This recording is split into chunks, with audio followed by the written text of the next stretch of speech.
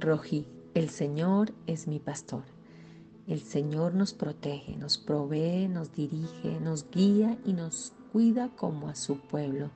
Dios nos cuida tiernamente como un pastor poderoso y paciente y Él nos rodea y nos protege. Salmo capítulo 23, versículo 1 al 6. El Señor es mi pastor y nada me falta. En verdes pastos me hace descansar, junto a tranquilas aguas me conduce, me infunde nuevas fuerzas me guía por sendas de justicia por amor a su nombre. Aun si voy por valles tenebrosos, no temo peligro alguno, porque tú estás a mi lado.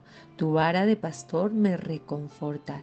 Dispones ante mí un banquete en presencia de mis enemigos. Has ungido con perfume mi cabeza.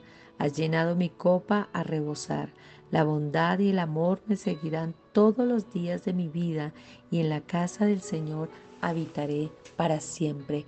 El Señor es nuestro pastor que tiene cuidado de nosotros. Así que no temas, porque dice el Señor, mis ovejas oyen mi voz y me siguen. Sigue la voz del Señor. Él te va a bendecir, Él te va a cuidar y te va a proteger. Recuerda que Él es la puerta y por esa puerta es que debemos entrar. Cuando está nuestro pastor protegiéndonos, Él no va a permitir que nada malo nos pase a nosotros ni a nuestras familias, porque Él ha dispuesto delante de nosotros un banquete y ha ungido nuestra cabeza con perfume. Así que levántate este día y confía en la bondad de tu pastor, el rojí, el buen pastor que cuida de su rebaño, y ninguna será arrebatada de su mano, porque Él da la vida por sus ovejas. Señor, te damos gracias en esta hora, poderoso Rojí, nuestro pastor. Gracias porque si no hubiese sido por ti, Señor, ¿qué sería de nuestras vidas? Gracias porque nos llamaste y nos amaste como un pastor con ternura, nos acogiste, Señor. Cuando necesitábamos ser levantados, nos levantaste, Señor.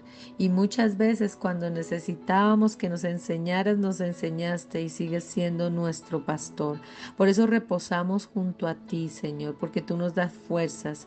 Gracias, Señor, por cada vida. Yo quiero, Espíritu Santo de Dios, que tú impartas a cada vida y a cada corazón el poder de tu presencia, Señor, y que puedan sentir el aceite corriendo por su cabecita hasta las plantas de los pies y que puedan sentir que la copa está rebosando, porque tu amor y tu bondad nos siguen, Señor, por siempre.